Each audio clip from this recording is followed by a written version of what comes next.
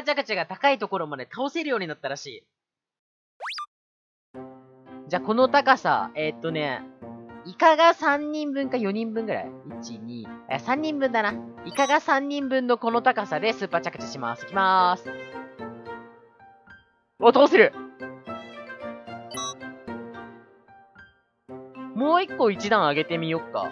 もう一段上で倒せるかどうか見てみよう。花火で言ったらもう最上の部分だね。ここで、スーパーチャックいきまーす。え？ー、倒せんのこの距離。高、え、高いよねこれだって。貝殻いきまーす。あ、倒せたえ、今までだったら絶対無理だよね、この貝殻のところ。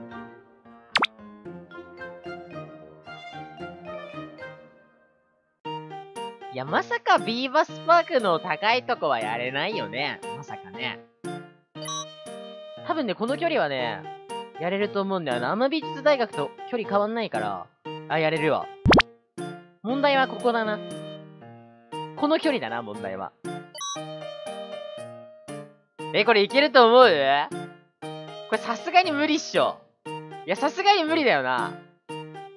うれえー、えええマジ？この高さやれちゃうの？マジ？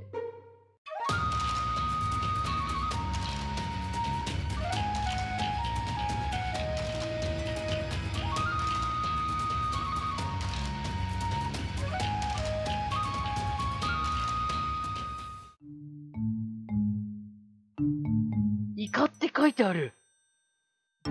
見て。イカ。このイカの下潜り込んで着地します、ここ。いきまーす。ほい。はい、強い。これ、これできるようになったんだ。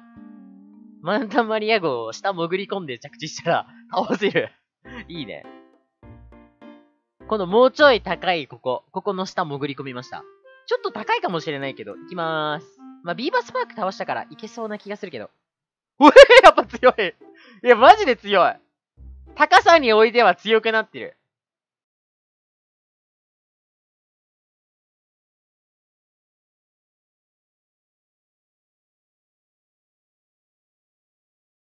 ん